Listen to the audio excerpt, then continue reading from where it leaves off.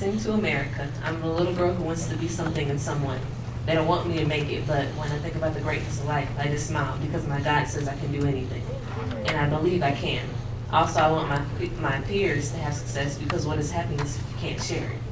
Tomorrow I'll be better than who I am today.